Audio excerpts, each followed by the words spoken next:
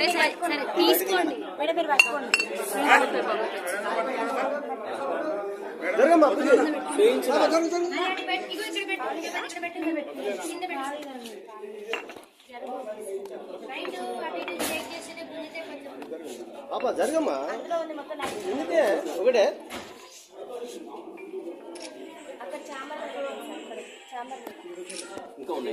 Alcohol చేయడానికి. ఆమెకు self control అనేది ఉండదు సార్ మేము అందరం మేజర్స్ మీ అసలు మమ్మల్ని ఎట్లా కొడతారు? సొసైటీలో అసలు కొట్టే రూలే లేదు. అసలు ఫిఫ్త్ క్లాస్ నుంచే కొట్టారు. మేము డిగ్రీ స్టూడెంట్ సార్ ఆల్రెడీ మాకు ఆ స్టేజ్ అయిపోయింది. మేము అందరం మేజర్స్ అందరికి మాకు అందరికి ఓటాకు ఉంది.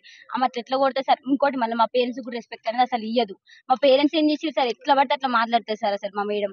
మా మేడంకి అసలు సెల్ఫ్ కంట్రోల్ అనేది లేదు సార్ మా మీద ఎగబడుతుంది. అంటే నైట్ టైం ఆల్కహాల్ చేసాం మా మీద ఎగబడి మమ్మల్ని ఏమైనా చేస్తే మా పేరెంట్స్ సార్ ఆ బాధ? మా పేరెంట్స్తో కూడా కరెక్ట్గా మాట్లాడారు సార్. అసలు ఆమెకు మాకు కరెక్ట్గా కమ్యూనికేషన్ అనేది ఉండదు సార్.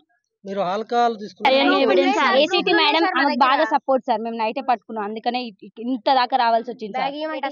మీ డిమాండ్స్ ఏందమ్మా? మాకు మెయిన్ మా ప్రిన్సిపల్ మేడం వద్దు. ఏసీటీ మేడం కూడా సస్పెండ్ చేయాలి. అంతే. మాకు ప్రిన్సిపల్ మేడం అవి ఉన్నాయి కూడా. ఆ room కూడా సీజ్ చేసి పెట్టినాం సార్. దొరికినాయి బీర్ బాటిల్స్. రూమ్ సీల్ చేసినాం సార్ మేము. ఎన్నాడు? నైట్ సార్ నిన్న నైట్ జరిగిన నైట్ అసలు. పడుకోలేదు సార్. ఏం జరుగుతుందో అని చాలా భయంతో అసలు పడుకోలేదు. ఎవరు క్యాంపస్ మొత్తం ఒక్కరు కూడా పడుకోలేదు. అందరం భయపడుతున్నాం సార్. నెక్స్ట్ ఏం జరుగుతుందో అని ఇంకా అబ్బాయిలు కూడా భయపడుతున్నాం. వస్తున్నారు. వాళ్ళ కొడుకు వచ్చి ఇక్కడ ఉన్నాడు సార్.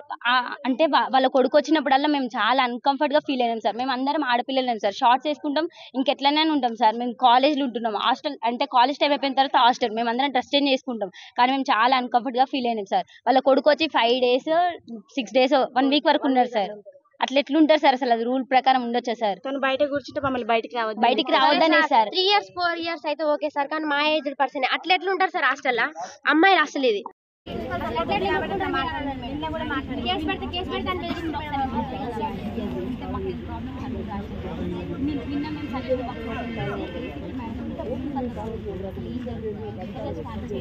చాలా మంది రాశారు మేడం చాలా మేడం స్టూడెంట్స్ కానీ ఫ్యాకల్టీ కానీ ఎవరు వెళ్ళరు. కానీ ఏసీటీ మేడంకి ఏం పని? అసలు ఎందుకు వెళ్తారు? ఆ మేడం పర్మిషన్ లేకుండా ఆమె ఆబ్సెన్స్లో ఉన్నా అయినా కూడా అసలు అట్లా రూమ్ ఓపెన్ చేస్తారు? ఆమె లేచి